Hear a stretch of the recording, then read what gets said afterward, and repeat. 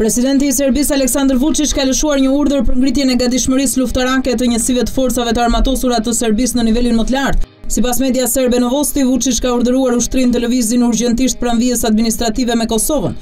Ky vendim i presidentit serb thuhet se erdhi për shkak të dhunës që sipas tij po ushtron policia e Albin Kurtit ndaj serbëve në Zveçan.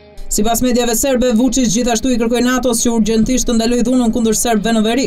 Kujtojmë se gjatë ditës së sotme policia e Kosovës ka njoftuar se po asiston kryetarët e zgjedhur për të hyrë në objektet komunale, pasi serbët bllokuan komunat në Zveçan, Leposaviq dhe Zubin Potok që të mos lejonin kryetarët e rinj që të futen në zyrat e tyre. Situata është shfaqur më e tensionuar në Zveçan, ku policia e Kosovës ka ndërhyrë duke përdorur gaz lotsjellës dhe shok bomba, me qëllim për të shpërndarë qytetarët që ishin mbledhur para godinës së komunës me shumicë serbe në pjesën veriore të vendit. Udhëheqësit e këtyre komunave me shumicë serbe u betuan një ditë më parë në ndërtesat publike si shkolla për shkaqe të sigurisë.